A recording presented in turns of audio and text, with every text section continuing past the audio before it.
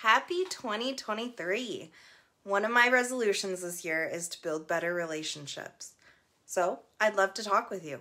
Let's grab a cup of coffee, maybe something stronger, or we can just chat on the phone.